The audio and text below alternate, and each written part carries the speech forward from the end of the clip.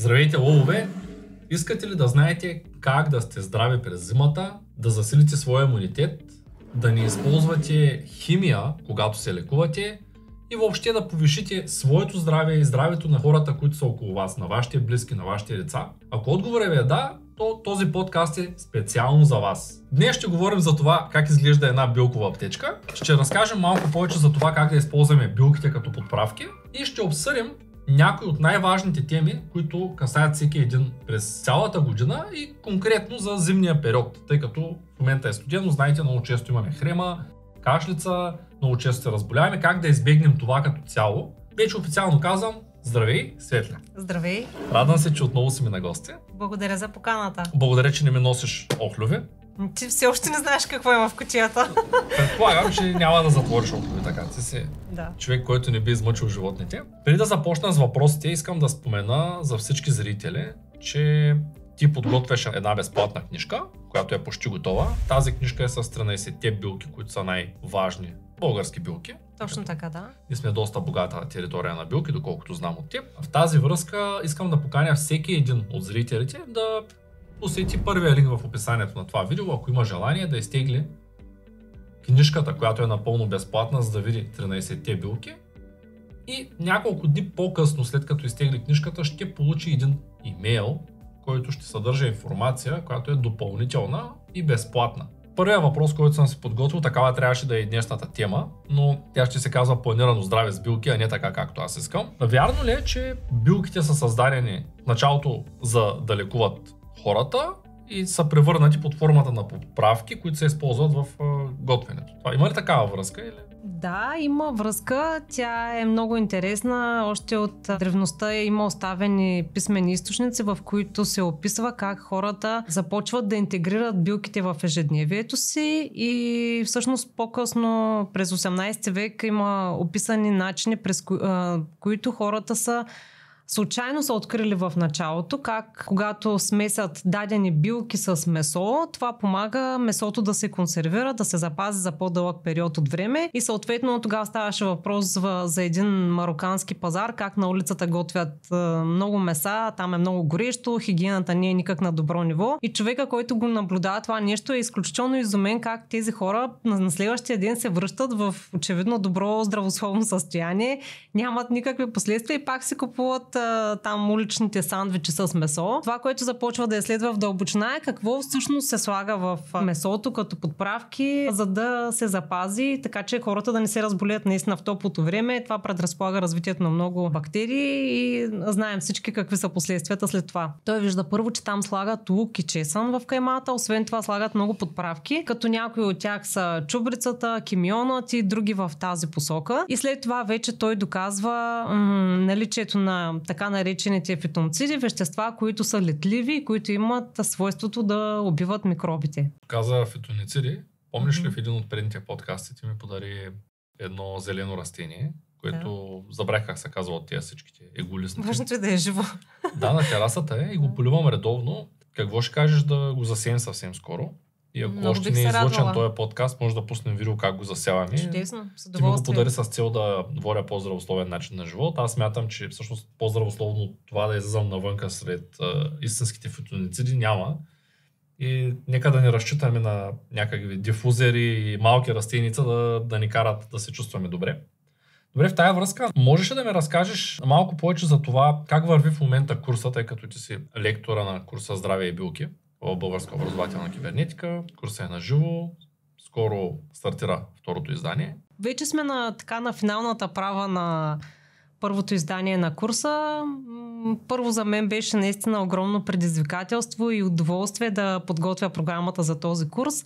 Аз вря и кипя в това да изследвам в дълбочина взаимовръзките между въздействието на билките и нашият организъм, въобще каква е причината да се появят болестите в нашия организъм.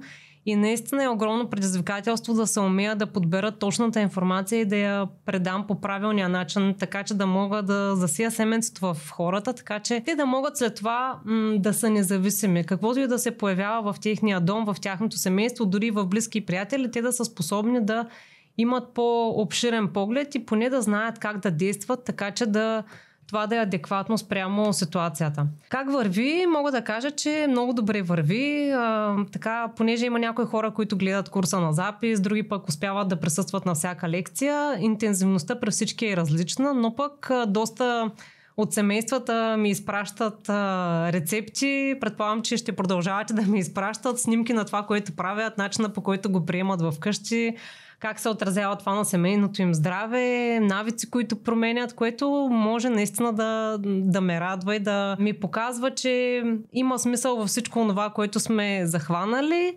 и че всъщност образоването и даването на познания в посока здраве на хората е изключително важно и то ги прави наистина едни независими хора. Имам и отличници. Добре. Знам, че имаш отличници. Това, което искам да споделя е, че нашите курсови са на живо. Да. И доколкото виждам, това е единствения курс в България за билки, който е на живо. Те срещава ли си някой друг на живо? До те, към тези, които аз съм попадала, са само на запис. Определени да. сесии заснети, които се пускат за няколко години дори напред. Да. Тоест от преди 2018-2019 заснети и все още се продават тези Като готови. Записи. Ами те билките не се променят чак толкова много, не са Но толкова се променя динамични. ситуацията спрямо която можем да ги ползваме и начина по който можем да ги адаптираме спрямо различните болести, които се появяват, различните времена. Това го разбирам, но аз искам да обясня нещо много а, важно. Човек учи най-добре тогава, когато общува.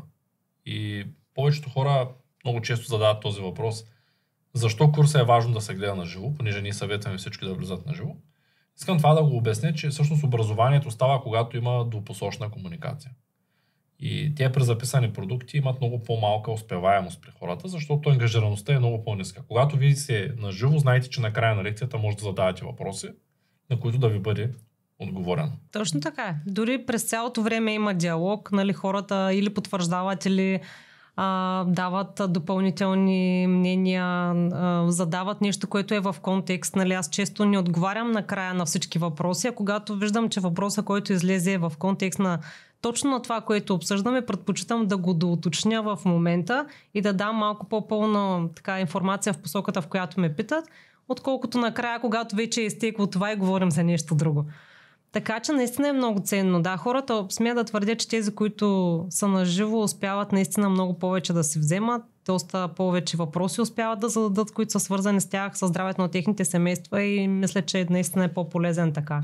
Тази връзка, можеш да ми споделиш, има ли хора, които наистина са винаги на живо и те ли са всъщност отличниците, за които по-рано спомена? Всъщност е така, да. Има такива, които са всеки път на живо. Някои от тях са така едни от, смея да твърдя, наистина от, от, от отличниците, които а, горят всеки път във всяка задача, която им давам, във всяко нещо, което подготвям и показвам как се прави. Те след това ми изпращат снимки. Ето аз го направих, сложих си лепенката, датите са поставени, датата на началното поставяне, датата кога трябва да махнем извлека, кога трябва да го прецедим. А, един, едното семейство, мъжът се занимава с професионално заснемане и дори прави такива интересни, заиграва се, нали? прави наистина интересни клипчета в това как ги прецеждат, как си правят нещата вкъщи с неговата съпруга и това наистина много ме радва.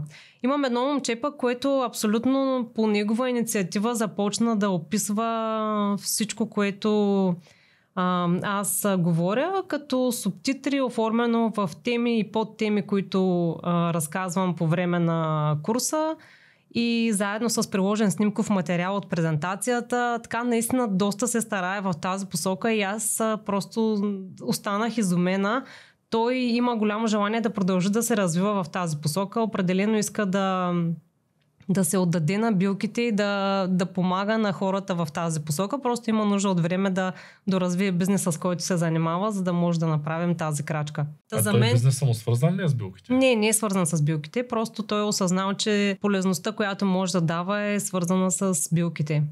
Та това е още едно предизвикателство за нас като компания, ако мога така да го нарека, да създадем перспектива и за такива хора, които, които наистина горят в а, нещата и истините, които ние им споделяме а, и ние сме тези, които трябва да, да дадат възможност за развитие в перспектива. Благодаря ти за изчерпателния отговор. Истината е, че това с билките наистина то е много полезно, защото ако човек знае повече за тях, може да се лекува почти даже изцяло с, с, тях и, и да се вдигне имунитета. Ето аз за първ път тази година пробвах детокс програмата. Тази връзка искам да те попитам кога ще е следващата детокс програма. А, да, следващата детокс програма ще започнем още при първа възможност а, пролетта. В ранните месеци, така около март месец, мисля, че вече ще бъде подходящо. Зависи и как точно ще тръгне годината, кога ще се поправи времето, как ще е ситуацията с а, вируси, бактерии, нали, които върлуват защото е добре да ги няма, нали, когато, или поне да са започнали вече да очумяват, когато започнем тази детокс програма. А на теб как ти се отрази? Ами, знам, че имаше, знам, че имаше доста трудности. Беше много трудно. Истината е, че много хора ги имат и аз всъщност се гордя с теб, че ти дори изкара нали, почти 15 дена, мисля, че с тази програма. Нали? Ами, аз изкарах цялата програма, като изключим този невероятен чай, който да. ми се отрази невероятно добре и аз не можех да работя много ефективно заради него, но а, да кажем, че... път ще е по-добре. Да, няма да, да е, ефекта няма да е толкова... Чай изглеждаше много вкусен, но страничните му ефекти бяха малко по-сериозни. Добре, в тази връзка детокса на пролет. На пролет, да. На есен и на пролет. Добре? На пролет и на есен. На пролет, на пролет, защото когато сме преминали зимата през всички вирусчета, бактерии, дарени заболявания, неразположения, през които е минал организма ни. Освен това, през зимата сме предразположени да консумираме повече готвени храни, по-тежки храни което допълнително натоварва организма ни. Затова при първа възможност ние и нашият организъм с така с удоволствие приема това пречистване, за да може с нови сили а, да се възстанови да от пролета нататък да се чувстваме добре. Този подкаст е благодарение, създава се благодарение на вас, гостите в него идват благодарение на вас и те дават стойност за вас. Но по статистика само 20% от хората, които гледат подкастите с Светла Касабова, която е днес на гости, са абонирани за канала. Така че, ако искате да подкрепите подкаста, просто се абонирайте, ударете един палец нагоре. А ако желаете да получавате известия, когато има нови подкасти, можете да ударите към банката, за да сте сигурни, че не алгоритъма, а всъщност вие решавате какво да гледате. Как виждаш своето развитие от тук нататък? Тъй като ние започнахме заедно този курс за билки, а, ти продаваш билки, консултираш хората за това какво трябва да се вземат в какви моменти. Ето излезе новата, новото издание на книгата. Да, излезе новото издание на нашата книга История за билките от времето на траките. А, тя е второто ни издание, което забавихме, защото обогатихме с още а, някои билки, за да стане така по-пълна и, по, и по-ценна наистина за всеки дом. Как виждам моето развитие? М- билки, билки и само билки.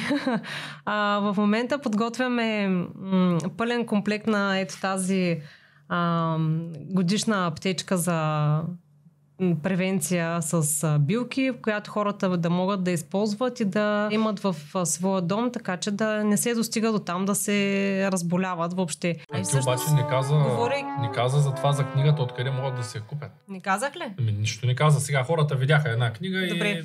Втория линк в описанието. От сайта на Бог. Добре, книжките да. са, тиража е току-що пристигнал, има Точно достатъчно така. книжки за момента, но побързайте, защото в противен случай може да нямате книга отново, доста дълго време нямаше тираж. Моята да. е горе някъде. Да. А, виждам, че сте сменили шрифта. Това означава ли, че тя сега вече може по-лесничко да се чете? Защото... Ами не знам, опитай да видим. О, да, да. Ами предния път шрифта беше може би малко по такъв старобългарски. По, една идея по-старинен беше, да. Да, и този стария текст беше много труден за четене. Така че, а, а, има ли някакви добавки тук, промени? Има промени, да. Аз добавих а, още а, някои билки, с които да можем да допълним а, книгата. И също така искам да покажа наистина една, нещо интересно, което също сме добавили. Важното е, че има ето този лъв и това е вкарана твоята история от а, забилките, която ти си ни споделил и ние вкарахме теб като представител на българска образователна кибернетика в нашата книга. Сериозно? Да. Моята, моята история? Твоята история, да. А това е историята, когато една баба ми излекува брадавицата на коляното, когато бях Точно малък. така, с глухарче. Да, благодаря ти много. Да. Затова сме я добавили. Всъщност тук има вкарани историите и на много хора, а, които са, са си спомнили интересни начини, по които са ги лекували, забравяни днес или често забравяни днес. А, но пък тогава са били изключително ефективни, а, което, което също възбужда спомените на всеки да си припомни как са го лекували, когато е бил по-малък, на село, баби, дядовци. Много добре. Чудесно, благодаря. Надявам се тази история да, да помогне на някой. Така че в тази посока се развиваме. Също така подготвяме и втората книга, която ще бъде свързана с курса и темите, през които минаваме, която ще бъде един наръчник за това как човек още да не стига до там да се разболява. Защото истината е, че а, дали ще е билки, дали ще е някакъв друг альтернативен метод, ако ние не водим природосъобразен, а не противоприроден начин на живот, колкото повече щадим нашето тяло и колкото повече знаем какво да му даваме, така че то да ни ам, кара да се чувстваме добре и да ни служи вярно по-дълги години, адекватно, а, толкова по, по-здрави ще бъдем. Това е истината. А, билките са тези, които могат да ни подпомогнат, ако ние самите сме предприели действие в цялостния си начин на живот. Да, истината е, че ние, ние, ние рядко говорим в подкаста за здравословни неща, говорим за вълната, говорим за а, колко е важно тишението, колко е важен кислорода за организма, а, колко е важна храната, сме говорили, а, колко е важно човек да се подлага на контролиран кратък стрес, на студен душ, а, колко е важно човек да стои на слънце, да се заземява и как тези неща всъщност оказват в дългосрочен план взаимодействие с нашия организъм и колко важно е това за човек, ако иска да живее пълноценно. Защото много хора успяват да добутат до 80, ама последните 30 не са много живота ми, са по-скоро едни шепи с лекарства едно коцукане. Мъка. Да, истината е, че няма гаранция. Скоро гледах обаче един подкаст, който се казваше на английски язик. Мога да предскажа кога ще умреш. И един човек, който е работил към застрахователна компания, разказва как е правил анализ на базата на ДНК, плюс как живее човека и от коя локация е, на базата на някакви сложни математически изчисления. Той ги гледа хората като математическа формула. Да. Тоест той знае, пушиш ли, пиеш ли, да, на каква възраст какво правиш. Да. Може да предскаже кога ще умреш с точност до един месец. Става ми супер любопитно и започнах да гледам подкаста. Не можах да го изгледам целият, тъй като не ми остава физическо време. С нощи го започнах. Той е над 2 часа а, на английски язик е много интересен. Моля колегите да сложат един линк там в подкаста отдолу а, на английски язик, ако някой има желание да го гледа. Но в общи линии се направих извода, че ако човек живее под стрес, ако не диша правилно, ако не се храни правилно, ако не вижда слънчева светлина, ако не се заземява, ако прави така, че мозъка му да прави по пет неща, по пет действия едновременно, нали всичко това се отразява и накрая ние стигаме до момента, в който казваме аз съм болен. Добре, Светле, какво означава планирано здраве с билки? Ами, че току-що каза как човек на база математически изследвания спрямо ДНК-то и начина на живот на хората може да определи с точност до кога може да изкара живота с този човек. А, аз не с такава точност, но а, знаеки навиците на човек, а, знаеки с какво се храни, къде живее, какви, каква е социалната му среда, доколко е реализиран в обществото, какви са така заболяванията му или пък какви са генетичните предразположености, които има от към семейството, също мога да дам интересни препоръки в посока на това как човек наистина може да планира своето здраве с билки. И ако нещо ни е генетично предразположено, то не означава, че ние на 100% ще се разболеем с него, но означава, че ако ние правим стъпки към това да а, ние да предизвикваме а, да гръмне тази бомба, тя определено ще гръмне и ние ще сме следващите в нашия род, в продължението на рода, които ще го носят като заболяване. Но винаги имаме избор в тази посока. Например, с тази детокс програма, която а, и ти кара, и много хора всъщност скарахме заедно, и която ще караме отново на пролет – Моите родители, а, майка ми спря лекарствата за кръвно. Тоест, когато се изчисти организма и тя е хипертоник от а, Смея да твърдя, че от 30 години е хипертоник и приема хапчета за високо кръвно налягане. Разбира се, че не ги е спряла самоцелно, нали? не бива да се действа в тази посока, но започна да й пада кръвното налягане и след консултация с лекар тя успя да ги, да ги спре. Сега се следи кръвното налягане и само когато има нужда приема а, определени медикаменти, но това ежедневно приемане успя да го да го спре. Ето така действа нашият организъм, така ни се отблагодарява, когато го почистваме редовно и когато му даваме възможност той да се самоизлекува, защото той е разумен, той е създаден така, че да може да се а, самогенерира. И има много митове спрямо различните заболявания, които са създадени. Аз ще дам сега само един, за да дам пример за какво а, точно става въпрос. А, и в курса всъщност ги разглеждаме в доста голяма дълбочина. Например, холестерола, така наречения добър и лош холестерол, които често са посочвани като лошия холестерол, като една от причините да, за сърдечно-съдови заболявания. И когато той е завишен, нали, че предразполага запушване на артериите а, това съвсем не е така, ако се разгледа човешката анатомия в по-голяма дълбочина и се види как всъщност двата холестерола, LDL и HDL, които така наречените, си имат различна роля. А, така наречения добър холестерол има ролята да връща остатъка от холестерол обратно към черния дроб, където да продължава своята дейност, а лошият холестерол е наречен лош, въпреки че нашият организъм го произвежда и той не произвежда нищо лошо и би следвало да има някаква функция. Когато се разгледа, се вижда, че тази функция е всъщност когато се получат дадени м- а, проблеми по нашите артерии. Това се изглеждат като едни дупчици, които се появяват по тях. Се вижда, че има нужда те да бъдат регенерирани. И той всъщност е този, който ги поправя или регенерира. И за това започва черния дроб да го отделя в повече, за да отиде той да закърпи тези дупки. И съответно, когато имаме рана, дръз, дръз, дръз, някаква дръскотина по тялото и тя зарасне, се образува като белек. Виждал си белек на човек, покъл си главата, сигурно поне веднъж. Не.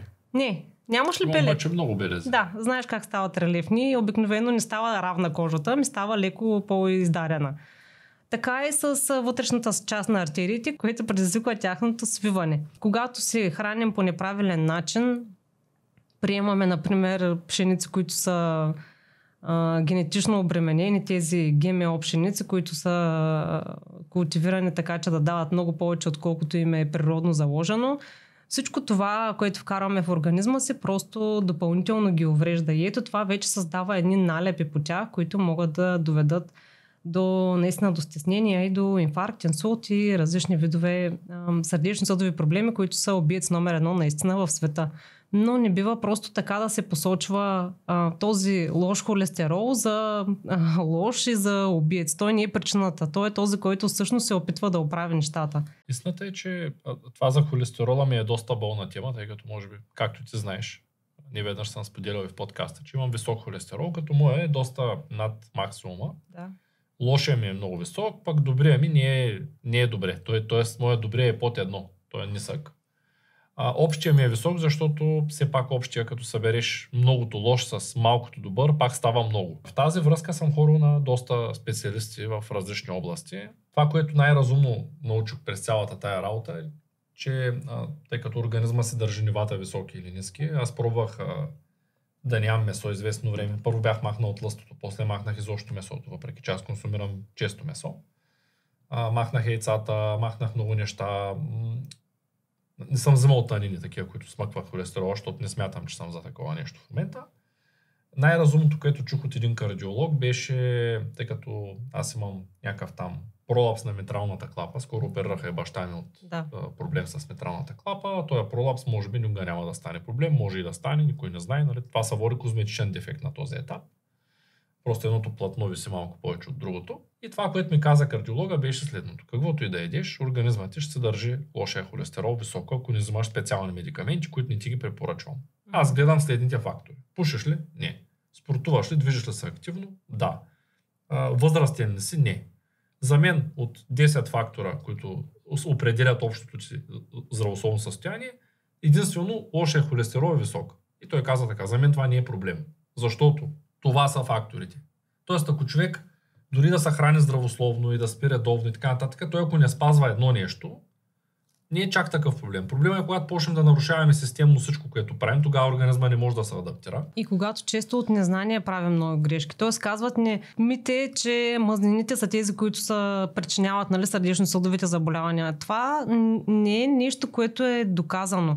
Тоест, мазнините винаги са присъствали в диетата на хората в различни племена, още от време оно.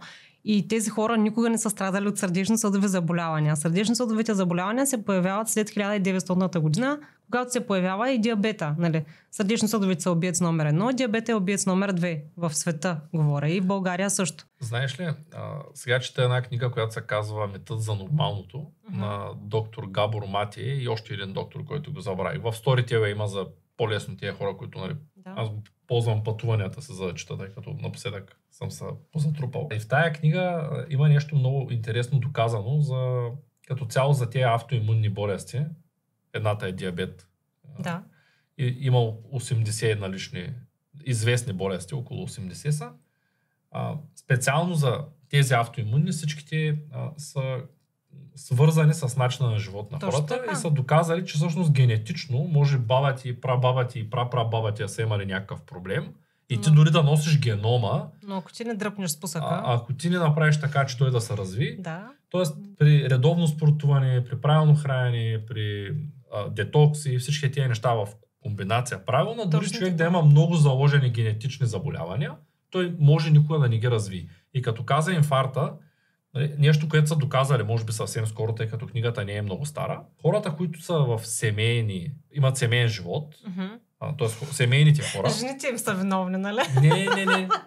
Не, напротив, а, мъжете, специално мъжете, да, да. А, имат пет пъти по-нисък риск от инфаркт и инсулт, когато те са семейни, спрямо да. тези, които са сами. Като единственото условие е да не сме в много токсична връзка. Да, да, разбирам. Да, та, общо взето, дори само когато ние започнем да спим един до друг и сме двойка, и отделяме окситоцин и едните хормони контактуват с другите хормони, ние живеем по-дълго. Това също е доказано, че хората, мъжете 15 години удължават живота си, когато са в Ти сигурно си решил да се жениш.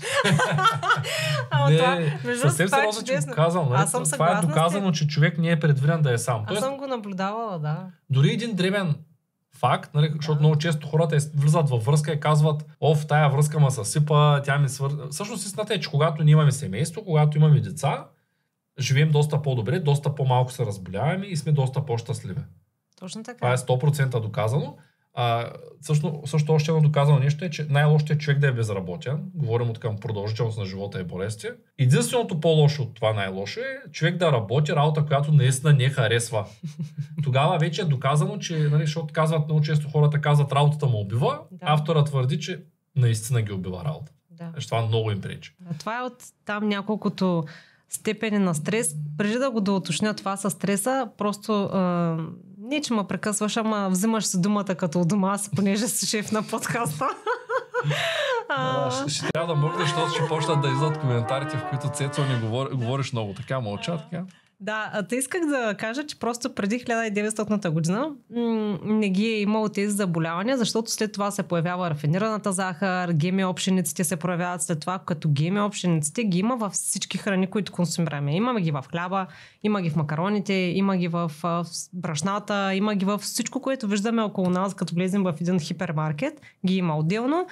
А маслата, нали, мазнините, дори растителните масла, те вече не се произвеждат а, много малко студено пресовани масла, нали, като зехтина можем да намерим, които са по здравословен начин извлечени. Всичко останало е по химичен начин плюс термична обработка, което автоматично... Помага допълнително всичко автоматично, да се зле. Да, автоматично уврежда много. Та ето тези неща бих могла да кажа, че могат да, да са едни предшественици, консумирайки ги редовно на диабети, на сърдечно-съдови заболявания, а не ако човек яде животински мазнини, например, но с животно от доказан происход, нали? да не е хранено с геми общеници, защото там съдържанието става същото. А, по отношение на нивата на стрес, исках да допълня. А, тези хора, които хорят на работа, каза работа, която не им харесва, че всъщност там са най-зле в, статистиката, това е именно заради стреса, защото или човек не умее да се адаптира достатъчно добре към стресовите ситуации, които са в ежедневието му, или просто стреса му идва в повече. Когато човек не успее да се справи, той наистина му влияе много зле. Има няколко нива на стреса, като най-често три описват така като, ам, като степени. Едната е а, така ниско ниво на стрес. Това е стреса, който преживяваме като гледаме децата си, като правим някакви ежедневни неща. А, другото ниво на стрес е второто, което е малко по-сериозно. Това е когато отиваме на някакъв по-сериозен изпит, за който сме се готвили, примерно държавен изпит или изпит за шофьорска книжка. И третото е вече, когато става въпрос за или за смърт, или за някакво тежко заболяване на наш близък, познат роднина, когато ние наистина изпадаме в шоково състояние. А, най-тежкият обаче от всички, защото, защото всеки един от тези видове стрес се преодолява и организма се адаптира. Най-тежкият обаче е този, който ни съпътства постоянно в ежедневието ни. И тогава, когато ние не успяваме, нямаме устойчивост да се справим с него, просто това наистина много притиска цялата ни система. Ние не се чувстваме добре, не сме щастливи. Оттам нататък това е свързано с отделянето на хормони от надбъбрежните жлези, връзката ни с а, мозъка, хипоталамус, нали, там има едни специални връзки, които са описани. И просто става един бум от хормони, който сваля имунната ни система. Разбира се, води до автоимуни заболявания, като хашимото и други свързани с щитовината жлеза, оттам диабети инсулт, инфаркти, приключваме. Тук вече идваме до, тъй като ти казаш, че пшеницата е ГМО, всъщност и царевицата е почти 100% ГМО по света и много да. неща са почти изцяло ГМО. Да, почти всички зърнени култури са така в момента. Много Еми... малко има такива, които не са обработени по този начин. И стигаме до извода, всъщност и до философията на българска образователна кибернетика, че добре е човек, когато има възможност, да направи така, че той да расте и децата му да растат извън града, да е малко по-насело, където да има възможност да ползва малко по-чиста храна, да се налага, да се налага, защото той човек, който е на село в една къща, то се налага да има двор, да хори малко бос, да хори малко по слънцето и в един момент се оказва, че да, то е по-неприятно. Със сигурност е по-неприятно, когато си свикнал да живееш в апартамент, е по-неприятно да ходиш на поляната, да косиш тревата, mm-hmm. да носиш дървата, да ги цепиш. Нали, със сигурност е по-неприятно да спортуваш, по-лесно е да си купиш от хипермаркет, отколкото да го сготвиш. Винаги има така лесни решения. Тези лесни решения водят до, а, в дългосрочен план до един не чак толкова пълноценен живот. До трофия на мозъчните ни клетки, бих казала. И в тази връзка сега искам да те попитам, вече в дълбочина искам да навлезем, тъй като а, иначе просто са много-много приказки. А, какво има в тази котийка? Тази кутийка... Извади ги едно по едно тези неща и ми ги обясни сега. Аз като един човек, който не знае, мога ли аз да питам? Да, разбира да се. Чакай само да я сложа. Ще ти дам. А, тя се слага едната в другата. Извиня, да, за да взема по-малко място. Просто така, женска му работа. Тук, тук е момента преди да попитам, да кажа на зрителите. А, важно е да гледате канала, да се абонирате за него, за да получите информация и защо тази кутийка е тук, какво представлява и каква е крайната цел на кутийката. Това е един подарък, който ще бъде подарен, но за това в някои от следващите подкасти. Или от предните, защото не знам кога ще излезе. Добре, почвам да питам. Това билков спрей. Да, първо да кажа за цялото какво представлява. Да. Това са нещата, от които бих казала едно семейство би имало нужда сега за зимния сезон, за близките да. няколко месеца. Не говоря като количество, говоря, говоря като видово разнообразие. Това са нещата, които на нас не стигат за цялото семейство да, да поддържаме добро здраве или ако се наложи някой леко е настинал или пък дромихете големия несин е донесъл някой вирус от детската градина или бактерия. Без значение. Това са нещата, с които ние овладяваме всяка ситуация в къщи, плюс пиене на чай, плюс колкото се може повече прясна, свежа храна, богата на фибри, това са нещата в комбинация. Тези два спрея са билкови, изцяло на билкова основа, нямат нищо добавено а, е, като консерванти фокуса, вътре в тях. Да. А, те са, един е спрей за гърло, другия е спрей за, за нос, като моите деца си ги знаят и дори малкия, който е на година и 8 месеца, сутринта първо като стане, каза, мамо, чай, чай. Нали, първото нещо е да пие чай. И ако има нещо свързано с а, гърлото, той дори сам се пръска от а, този, който е спря за гърлото. Имам, искам да кажа, че децата и възрастните ползваме едни и същи продукти. А какво е това лютото? Питаш ме какво е това лютото? Ами я ми кажи ти какво е. Ти вече си го ползвал. А, това, това лютото а, служи за засилване на имунитета, може да се използва, да се разтваря във вода, може да се пие с мед, една или две капки наведнъж, ако в човек се разболява мед. в лъжичка мед а, и съдържа, сега за да ни карам по спомен, ще Много кажа така, масла. че съдържа кимион, при това черен кимион, босилек, карамфил, риган, канела, лимон, роза и всъщност помага за функцията на имунната система и също така много помага при главоболие. Аз научих от теб за този продукт, когато има главоболие един път, пътувайки, минавайки през вашата къща, ти се оплаках, ти ми удари това нещо. Аз си помислих, че всъщност сега, освен главоболие, най-вероятно ще има боли и, и гърло, да кажем. Беше доста неприятно. Истината е, че наистина помага. И при първи симптоми на, на вирусно заболяване също е изключителен помощник. Възрастните може директно по езика да си капят по 2-3 капки до 3 пъти на ден, ако имат такива първоначални симптоми. Да, това е виола. Тя е много вкусна. Нямам никаква идея какво съдържа. Тъй като пил съм само виола отделно. Да, Мирише много готино. трицветна теменуга е. А, това е теменуга. Да. Много е готина. Тя е противовъзпалително. А, при хора с алергии също може да се приема. А, с алергични заболявания, свързани с ринит, алергична кашлица. А, и в тази посока може да се приема. М, включително когато става въпрос за кашлица, при ларингити доста добре действа и повлиява в комбинация с а, м, самбуцина, това, което е бъс, българският природен имуностимулант и с а, тонус, който е комбинация от джинджифил и а, куркума. Сега, тъй като тук имаме мурсалски чай, Да. а, можеш ли да ми обясниш каква е разликата между да си направя мурсалски чай в къщи, да го запаря и мурсалски чай, който е в тинктура? Да, аз мисля, че това вече сме го разказвали, каква е разликата между тинктурата и чая, но ще го кажа накратко отново.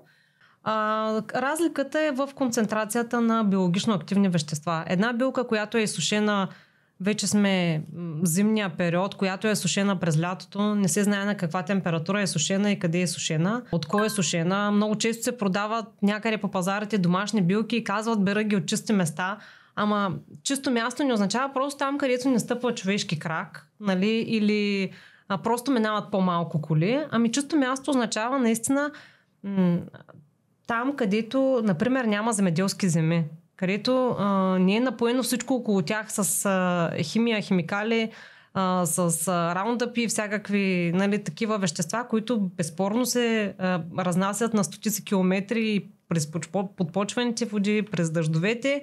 Затова някой, когато ми каже, че е брал чисто място, нали, домашно събирано, това, това вече не е етикет за нещо, дали е чисто или не. А ние как знаем, че тия шишенца са на- набрани от Всяка една от тях а, е тествана. Всяка една от тях има анализ направен. И то за различните биологични стойности на, на, за различните стойности на биологично активните вещества. Тоест, когато е минала през лаборатория, там вече всичко се вижда. Добре. И всяка една билкова компания го прави това нещо. Ако човек се осмели да се бере, бере билки, трябва поне в радиус от доста километра да няма земеделска земя или най-доброто място е да отиде на планина и оттам да се откъсне няколко билки, от които и да има за зимата. Тоест, или влизаме дълбоко в гора, Да. или не берем билки. Ако Да. ще ги берем край пътя, не е добра идея. Това както лайката е събират край пътя. Да, и където има в близост земеделска земя. Също не е никак добра идея. Останаха още три шишенца. Това е Това е един чудесен помощник. Анесум. Да, от Анасон. Е, идва. А, Тя е чудесен помощник при различни стомашно-чревни проблеми, като газове, например, или пък преди път при а, симптоми на гадене, повръщане, ако знаем, че някой от семейството има такива, може като превенция да, да се пие по м, дозата, нали, която е за човек преди пътуване. бетула. Да, бетула, това е бреза, кора от бреза. Също изключителен имуностимулант и помощник на, на нашето тяло в различни... Мертили. Да, това е черна бровинка, която е много полезна също при, също при стомашно-чревни неразположения и е един от а, така, първите помощници в тази посока. Аз имам един въпрос. Що винаги ма караш всичките тия шета да ги смесвам в едно голямо шише? Ами не ми казваш, ще спи само това. Ами зависи от различната ситуация. Обикновено, Аз когато са толкова съм взе винаги, че трябва всичко Не, да го притесня. Например, аз, моите деца, като се разболеят, винаги отварям ето тези три тинктури. Сега, ето тази, тази и тази. Или... Чакай, че постоянно ми ги вземаш. Или тази. Понеже виолата, тя, казах ви вече, че тя е ам, противоалергична. Ако малкият ми син а, има някакви симптоми на а, хрема, появява се, нали, слиза секрет към белите дробове и започва да се появява кашлята, задължително е добавен, защото той е склонен да прави ларингити. Просто е такъв тип. Затова винаги я добавям заедно с джинджифил и куркума и самбуцин. Мога да ги смеся трите заедно и да давам по няколко капки.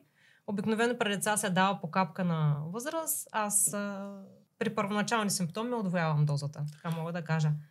А, и затова ги смесвам. Добре. Да. А, тоест, а, ти преценяваш какво трябва и ги правиш като доза. Да, за моето според, семейство, да. Сега, когато става въпрос за теб или за някой друг, който се е допитал за консултанция, задължително доктор Тера Сулева, тя е квалифициран фитотерапевт, също така е един от основателите на тази компания, или пък Валентин Стоянов от Хербалкан, е, която е другата компания. Задължително се консултирам с тях, когато става въпрос за нещо, което е свързано с вече заболяване, нали? не, не просто превенция. Добре, тая аптечка къде, къде има?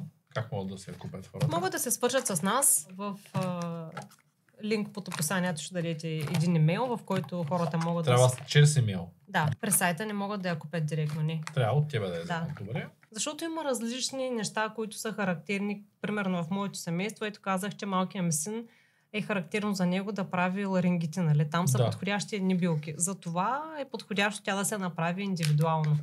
Добре. А, удобно ли е да създадем една страничка, която да е сложен третия линк в описанието, която страничка да се регистрират хората и тогава вече, когато са регистрирани, да се свързват с тебе, за да говорите и да могат да... Съгласна съм, да. Добре, в такъв случай третия линк в описанието, ако искате билкова аптечка. Добре, може да ме ориентираш, защото знам, че цените на билките също се променят. Към днешна дата колко струва тази аптечка, която е за цялото семейство. Да, между 7 и 9 лева мога да кажа, струва едно шишенце с билки. Тоест, зависи зависимост ще от вземат. количеството, да, и от а, броя на членовете в семейството, вече може да се... Тоест да кажем, може да струва между 50, може да е 40, може да е 100 лева, зависи, Да. може да е по-голяма кутията Да. с повече неща. Да. Дали искат, примерно, милосърден самарянин да се добавят. Аз да кажем съм се добавил в моята... И ти за какво го ползваш? Ами аз за щастие не ми се налага да го ползвам. Иначе мога да го използвам, ако се изгоря, да речем. Това ми е Добре. основната... Добре, чудесно. Да. Можеш ли да разкажеш какво съдържа? Да. За него също сме разказвали, но отново ще кажа пък за тези, които за първи път гледат подкаста с мен. А, това е един наистина милосърден самарянин. Аз намерих информация за него от една книга на Яромонах. Неофет Калчев се казва този човек, който е един от хората, които са помагали на Левски да се излекува раните. А, той тогава споменава за него, че се е правил от жълт кантарион, който се набира, когато е пресен, нарязва се и се накисва в зехтин за 40 дни. И след това това нещо помага изключително много при изгаряния, наранявания. Също така може да се приема вътрешно при стомашно-чревни проблеми и различни язви, колити. А, има изключително добро действие. А той може да се пие, освен да се пръска, така ли? Да, Това не го знаех. да. Аз знам, че мога само Може да се мажа, ако вътрешно. Хората, когато се изгорят, обикновено ползват всевъзможни неща. Бързо студена вода, намажи го с маргарин, пръсни му това, онова, чисто масло, какво ли не мислят? Там олио, Белтък. чувал съм всякакви Белтък работи. също върши чудесна работа, но докато разбиеш един белтък, ако си сериозно изгорен в ръцете, нали, би ти било по-трудно.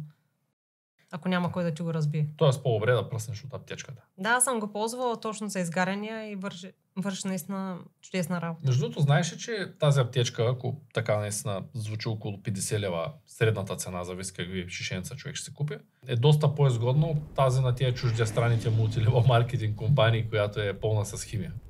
Защото са ми предлагали такива аптечки, те са от порядъка на стотици левови, не са 20-30 лева 50. Да. Тоест билките излизат ти по-изгодно, освен че са със сигурност по-добрия вариант за организма. Да, и това са български билки от български компании, които наистина влагат сърце и душа в, в тези билки. Ето едната от компаниите в момента прави такава като банка, да я нарека, в която събира повече от биологично активните вещества на билките през тази година, защото не се знае през следващата година какви ще са климатичните условия и дали тази билка ще даде същите а, биологично активни вещества, т.е. дали те ще дадат същата полезност на хората. Ето до толкова ги е грижа, че те инвестираха наистина немалка сума в това да направят това обновление в а, тяхната фирма и това изключително много ме радва как те мислят наистина за хората да, да им осигурят едно и също качество на билките през следващите години. Това е наистина чудесно. Знаеш ли, много хора ме питат а, за чуждестранни компании, взел съм се това да го пия ли? Или ми снимат и ми изпращат налично а това полезно ли е, мога ли да го приема, как ще ми повлияе. А, истината е, че всяко едно а, растение би ни помогнало. Просто винаги това, което казваме, че моят фокус са българските билки, брани от българските земи, защото ние имаме корени свързани с нашите предци, имаме история на билките, тук по нашите земи и не случайно те растат тук, за да ни помагат и да ни лекуват и смятам, че те са тези, които най-бързо могат да подпомогнат нашия имунитет или дадения патоген, който се е развил в нашето тяло. Затова винаги казвам, че аз съм превърженик на лечението с български билки. Не отричам другите науки и другите альтернативни методи, защото наистина има много. Просто съм превърженик на българските билки.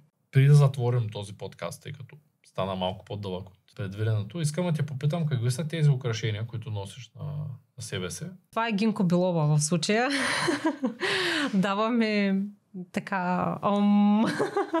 шегувам се. Просто едно от растенията, които много харесвам, а, които си имаме в двора и тази година за първи път направихме от него бижу. Всъщност моята любов, той е майстор на тези бижута и за първа година той направи от тях бижута и аз имам честа така да, да ги нося.